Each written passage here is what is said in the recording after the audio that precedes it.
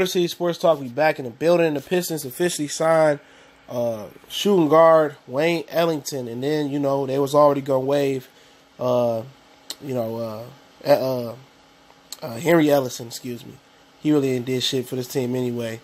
But um, you know, Phoenix a wave to uh, Ellington to get to a contender, and pretty much he gonna get some opportunity to shoot that rock that he didn't get in Miami. In Miami, he was behind Dion Waiters. Now that came back, Dwyane Wade. Rodney Rodney McGruder. Then you had swingmen like uh, Josh Richardson. Then you had um, Justice Winslow, who's been playing pretty good this season. Um, you know, Ellington, you know, averaged 8.4 points a game and 21.3 minutes uh, per game with the Heat.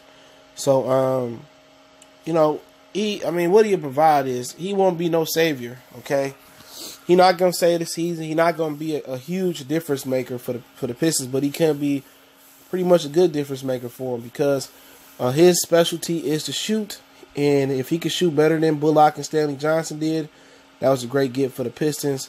Um, you know, guy he can kind of get to the lane a little bit, but primarily he known for catching and shooting. And if he can, um, you know, shoot the rock when Drake, uh, I say Drake, when Blake penetrate, and when Reggie penetrate, and and and with Drake kick it out, if he get double team and he can hit his open jumpers, uh, we'd be all right. You know, especially with Luke Kennard too. You know, if Luke Kennard can get back in that rhythm he was last year, which I said in stream last night that I thought Luke Kennard was injured because I seen way more confidence and, and more explosiveness, you know, in his game last season. And he had suffered an injury before the season, so I never think I never thought he really fully healed. So I really don't rag on him like that, man, because I, I know you know he had some potential last year, but you know, but Ellington he not no no major no major get. You know what I'm saying? He ain't gonna change life drastically for Detroit, but he can assist us into what most people want is just to make the playoffs. You know, I heard somebody say, you know, uh, people don't know how vital this is for our young players to make the playoffs. Like, what young players?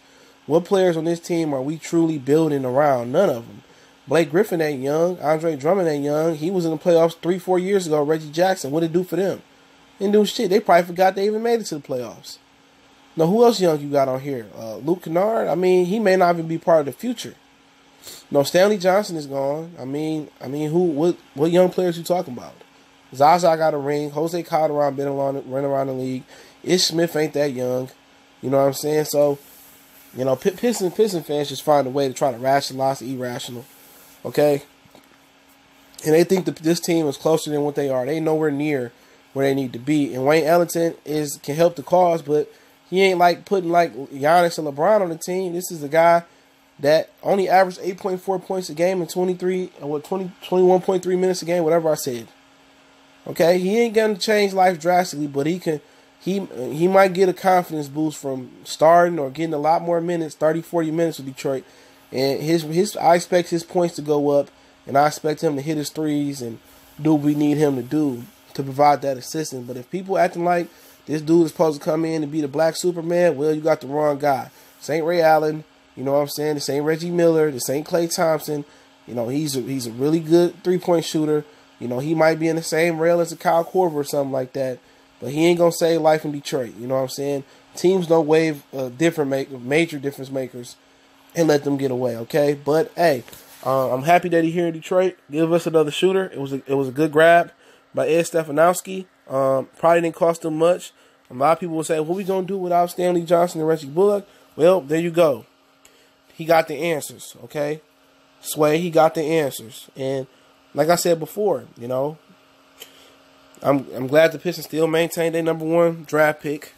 Uh, I'm glad they filled the hole for shooting, so we ain't got hundred uh, percent rely on uh, Glenn Robinson the third and rely on Luke Kennard hundred percent I think it's a good balance for Luke. I just don't think Luke healthy right now, or he he just looked lethargic, man. If he given that rhythm he was in last year and build on that next year, or down the stretch of the game, I mean, I think he have a nice little future here. But I don't see him being nobody to build around or, or pretty much build with. I think he more of a glue guy. But this is my personal opinion. Uh, Motor City Sports Talk. Let me know what you guys think. I'll link an article in the description, um, backing up my claims as I usually do. Don't forget hit that subscribe button, bell icon button.